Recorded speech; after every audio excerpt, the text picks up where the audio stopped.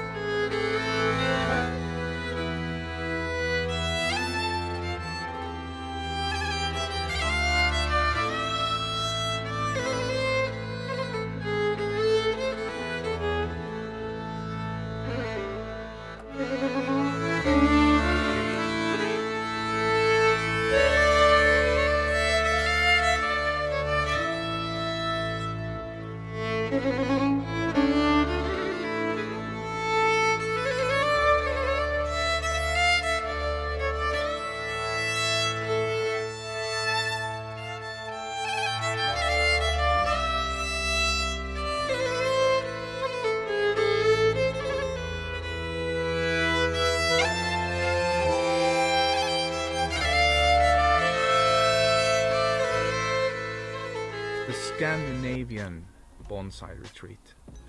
Yeah, What what is this, Thor? What It- um, what are we experiencing right I don't, I don't know. Do we know it? we don't. We, I Maybe we shouldn't. No, I mean it's a, it's a seed that It's a will seed. become a plant, and uh, what that plant is, we don't know. Looking at the seed, but I hope that the people that come came this year. Yeah. What, my idea is that this is going to. I want to bring something back to bonsai because I have received so much, and uh, I'm just so thankful for that. But I, I want to I want to bring something a fire into the Swedish bonsai scene. I want I want Europe to, to uh, Sweden become a part of European bonsai scene. When I go down to meet other people out in the world and especially in Europe, I can see that they are connected. You know, they share so much, and we are a little bit isolated. So I want to I want people up here to Would you say that we are lacking that in Sweden? This connection that you talk of, we are behind. we are behind. we are behind and that's natural i mean we're up north we have a short season we don't have as many species and all that but but i think that we also we are we are so few so we don't have that we don't have the different branches and in in in the community so we have to bring that fresh blood Walking around and talking with people, I have seen that uh, people are they, they I can see on their faces they are smiling, happiness. They're they're they're feeling welcome. Yeah. Oh, that's great. Uh, that's what we hope for, and that's why we call it a retreat. We don't call it a a camp or a or a or a, uh con event or, Yeah. or festival. We call it a retreat because that's what it, it's. It's retreating from from the the the noisy cities and and finding yourself and and relaxing and being together 24 hours and you know just letting your fart out exactly, letting some air go. yeah Yeah.